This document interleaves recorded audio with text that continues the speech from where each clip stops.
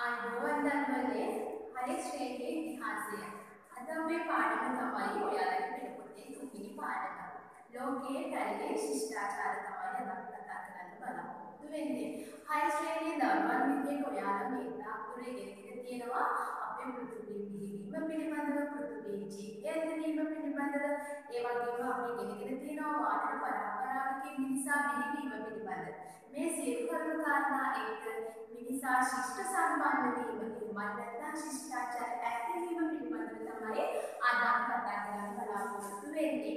ඔයාලා දන්නවනේ අපි පූර්ව ශිලා යුගය, මධ්‍ය ශිලා යුගය, ඒ වගේම නව ශිලා යුගය කරගෙන ආවම මිනිස්සු විවිධාකාරයෙන් දරුවනේ දියුණුවටපත් වෙනවනේ. මේ දියුණුවත් එක්කම මිනිසා සංස්කෘතික වශයෙන් මිනිසා සිතුවිලි වශයෙන් මේ දියුණුවත් එක්කම මිනිස්සු සාමාන්‍යයෙන් හිටියට වඩා ශිෂ්ටාචාර සම්පන්න භාවයකට පත් වෙනවා. එතකොට දඩේ ජීවත් වන මිනිස්සු එක තැන ජීවත් වෙන්න පටන් ගත්තා. ගම්මානවල ජීවත් වෙන්න පටන් ගත්තා. එතකොට මේ ගම්මාන විහිවීමත් එක්කම ගොවිතැන කියන කෘෂි කර්මාන්තයට මේ විහිවෙන්න පටන් ගත්තා. මෙන්න මේ විහිවීමත් සමගම සමහරවිට හම්බ වෙනවා දරුවනේ හොඳ සරුසාර ඉනම්. ඒ වගේම වතුර සපය ගන්න පුළුවන් ආකාරත් එයාලට තමන්ගේ පහසුවෙන් තම ඉඩමට වතුර හඩගෙන තමන්ගේ වගා කටයුතු සිදු කරගන්නත් මේ මිනිස්සු උත්සාහ කරා.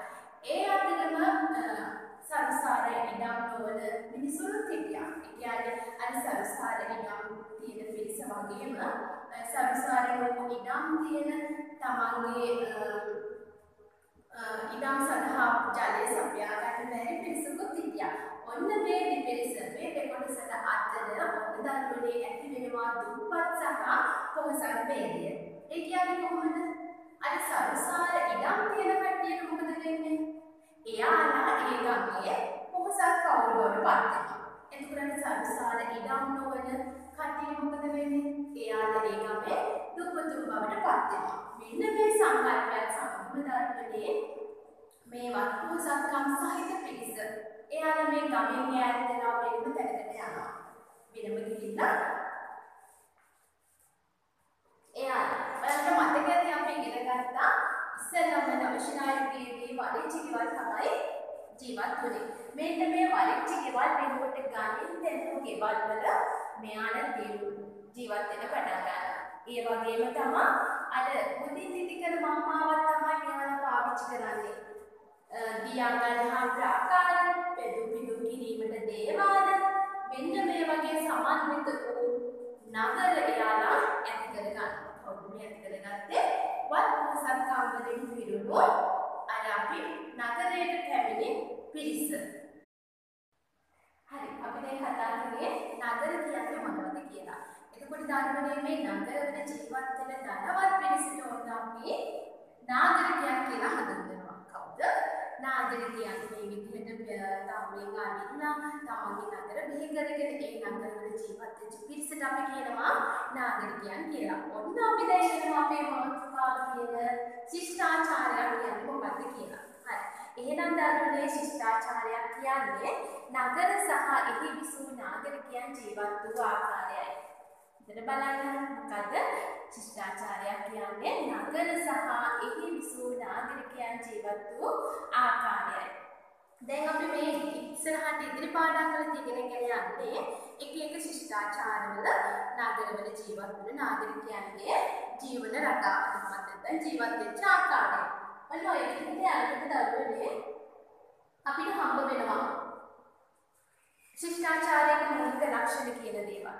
ශිෂ්ටාචාරයක දරුවනේ මිනිසුන් අකුරු භාවිතා කිරීමට පුරුදු වෙනවා. ඒ වගේම තමයි වැඩි පිරිසක් අදහන ආගමක් ඇති වෙනවා. පිට රටවල් සමග වෙළඳාම ආරම්භ කරනවා. ඒ වගේම මෙයාලගේ පාලන ක්‍රමයකුත් තියෙනවා. ඒ අතරම මේ මිනිසුන්ටම ආවේනික වූ ගොවිතැන් ක්‍රම භාවිතයකුත් තියෙනවා. මෙන්න මේ මූලික ලක්ෂණ ශිෂ්ටාචාරයක අන්තර්ගත වෙනකොට දරුවනේ අපි බලමු මොනවද තියෙන ශිෂ්ටාචාර කියලා. අපිට ඉගෙන අපිට 6 වසරේ ඉගෙන ගන්න තියෙනවා දරුවනේ නියෝන් ශිෂ්ටාචාරය, ඉන්දු නිම්න ශිෂ්ටාචාරය, ඊජිප්තු ශිෂ්ටාචාරය සහ චීන ශිෂ්ටාචාරය කියන ශිෂ්ටාචාර හතර. මේ හතරත් එක්ක ධර්මනේ අපි ඉස්සරහට යනකොට ඔයාලා කල්පනා කරලා බලන්න. ඇයි අපි ශිෂ්ටාචාරයක් ඉගෙන ගන්නෙ? නෑ මේ පිට රටක තිබ්බ දේවල් අපිට මෙහෙම ඉගෙන ගැනීම අවශ්‍යතාවයක් නැහැනේ. නමුත් දරුවනේ ශිෂ්ටාචාර වන ජීවත් වූ අය විසින් නිපදවන ලද නොයෙක් දෑ ගන්නවා. ඒ බුද්ධිමත් මිනිසුන් විසින් නිර්මාණය කරපු දේවල් තමයි දරුවනේ අපි මේ විදිහට අදත් පාවිච්චි කරන්නේ. එතකොට ඔන්න අපි කතා කරනවා අපේ පළවෙනි ශිෂ්ටාචාරය තමයි දරුවනේ මෙසපොතේමියානු ශිෂ්ටාචාරය.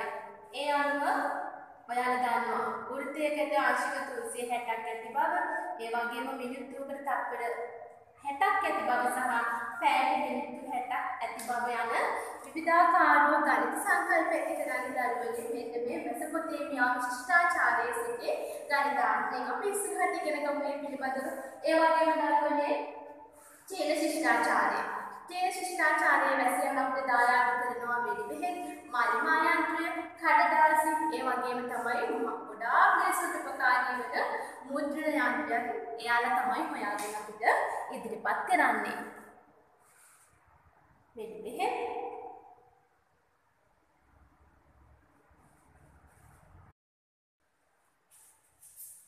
ඒ වගේම දරුවනේ අපිට හම්බ වෙනවා මායා ශිෂ්ටාචාරය. ඔයාලා දන්නවනේ ඔයාලට ගොඩාක් ප්‍රයෝජනවත් දෙයක් තමයි මේ රොබර්ට් පෝලේ කියන්නේ. ශ්‍රී ලංකාවේ නිතරම ගන්නවනේ. මෙන්න මේ මායා ශිෂ්ටාචාරයේ වැසියන් තමයි දරුවනේ අපිට රබර් බෝලේ කියන සංකල්පය ඉදිරිපත් කරන්නේ. ඒ වගේම තමයි දරුවනේ අපි ඔය පාවහන් වලට යොදන්නේ රබර්. ඒ වගේම තමයි විශාල ගුවන් යානාවල රෝද වලට අය කරන්නේ රබර්. මෙන්න මේ මූලික සංකල්ප එතකොට එන්නේ කොහෙන්ද? මායා ශිෂ්ටාචාර වැසියන්ගෙන් තමයි අපිට මේ මූලික සංකල්ප සියලුම දේවල් ඇවිල්ලා තියෙන්නේ. ඉතින් අපි මේක ඉගෙන ගන්න ඕනේ නේද? ඒ හින්දා තමයි මේ ඔයාලගේ පෙළ පොතේ මේ ශිෂ්ටාචාර වල වැදගත්කම ශිෂ්ටාචාරයක් කියන්නේ මොකක්ද කියන දේ අන්තර්ගත කරලා තියෙන්නේ. නේද? මෙන්න මේ විදිහට අපි කතා කරමු ඉස්සරහට අපි මෙසොපොතේමියා ශිෂ්ටාචාරය, ඉන්දු නිම්න ශිෂ්ටාචාරය, ඒ වගේම ඊජිප්තු ශිෂ්ටාචාරය සහ මායා ශිෂ්ටාචාරය ගැන. ඉතින් දන්නවනේ අද අපි මේ විදිහට ශිෂ්ටාචාර කරන හැඳින්වීමත් එක්කම අපි අපේ පාඩම අවසන් කරනවා. එහෙනම් අපි තවත් දවසකින් අපි පාඩමට එකතු වෙනවා. එහෙනම් ඔයාලා හැමෝටම සුබ දවසක්. අයිබෝවන්.